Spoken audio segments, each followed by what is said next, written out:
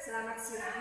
Sekarang saya mau mengomentari uh, kegiatan pembelajaran yang sudah dilakukan oleh Ibu, Ibu Winati, yaitu tentang tema 3, tugasku sehari-hari, subtema 4, tugasku dalam kehidupan sehari-hari, dan pembelajaran 3. Kegiatan pembelajaran tadi sudah berjalan dengan baik.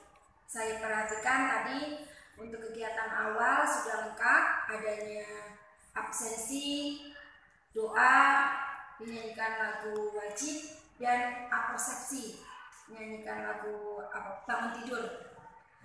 Kemudian kegiatan inti, kegiatan inti dalam penyampaian materi Ibu Winarti menggunakan PowerPoint. Di situ anak-anak berperan aktif di dalam pembelajaran.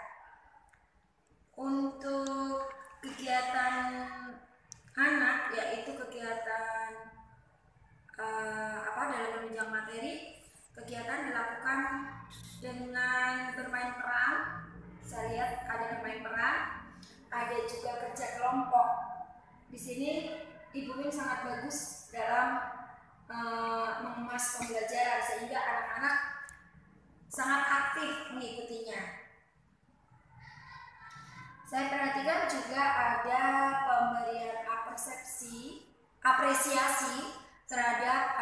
anak-anak yang bisa menjawab pertanyaan dengan benar.